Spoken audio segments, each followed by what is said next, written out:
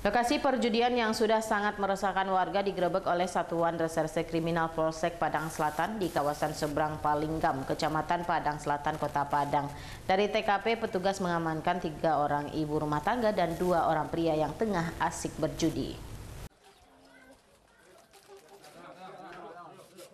Ini adalah penggerebekan sebuah lokasi judi berkedok warung di kawasan seberang Palinggam, Kecamatan Padang Selatan, Kota Padang oleh tim opsional Satreskrim Polsek Padang Selatan Senin petang. Saat digerebek, didapati lima orang penjudi yang tengah asik melakukan permainan judi kartu di dalam warung.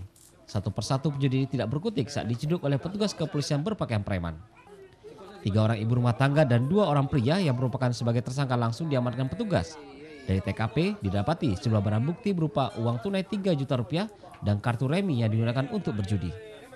Isak tangis dan histeris mewarnai penangkapan para penjudi ini saat kelima tersangka digelandang petugas ke mobil patroli. Penggerebekan ini berdasarkan informasi dari masyarakat setempat yang telah resah dengan ulah para penjudi yang kerap membuat onar saat kalah berjudi dan mengganggu kenyamanan warga setempat.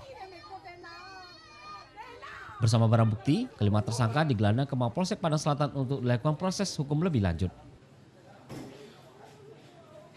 Jadi kami mendapat informasi dari warga di salah satu rumah di daerah seberang Palinggam itu sedang berlangsung perjudian.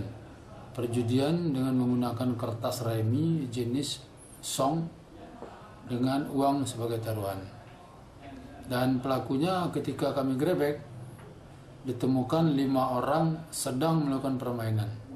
Kita dapatkan barang bukti berupa uang tunai kita dapatkan kertas remi dan kita bawa kelima orang pelaku berikut saksi yang ada di lokasi. Wow. Untuk tersangka berapa orang dan? Untuk tersangka ada lima orang, tiga perempuan, dua laki-laki. Dari Padang, Budi Sunandar, Ainis melaporkan.